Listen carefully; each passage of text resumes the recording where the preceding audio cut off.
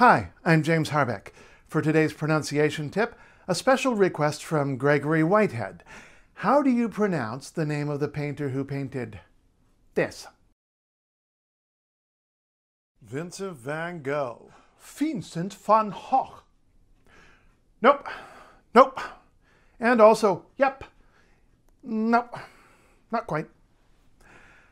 It's this. In English, we all say Vincent van Gogh.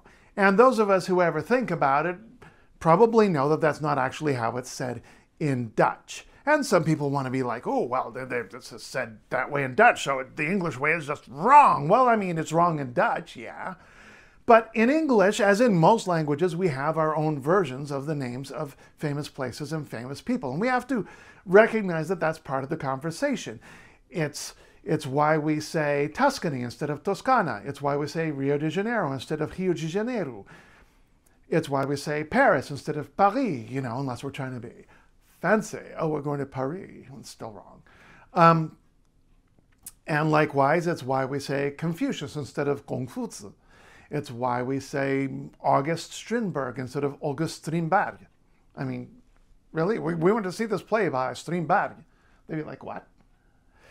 And it's why we say Vincent van Gogh instead of, well, if you've seen any of my previous videos on pronunciation of Dutch names, Dutch place names, you might remember that the letter G in Dutch is never, ever, ever pronounced G, or for that matter, J. It's pronounced G, or at the end of a word or other D-voice location, like after a voiceless consonant, H. So G-O-G-H is roch. You will notice that the H at the end is just like hanging out there. You don't say roch. It's just roch. Now, as for the V's, um, and by the way, it's definitely not fincent. It's the, the letter I is I. But as for the V's, a lot of people will think, okay, I, I heard it, it sounded like fa, um, so it must be fa, like in German. Well, no. In German, V is always fa, and W is va, and in Dutch, no. W is neither va nor fa nor wa. It is va, which is a sound that no other Germanic language even, you know, does.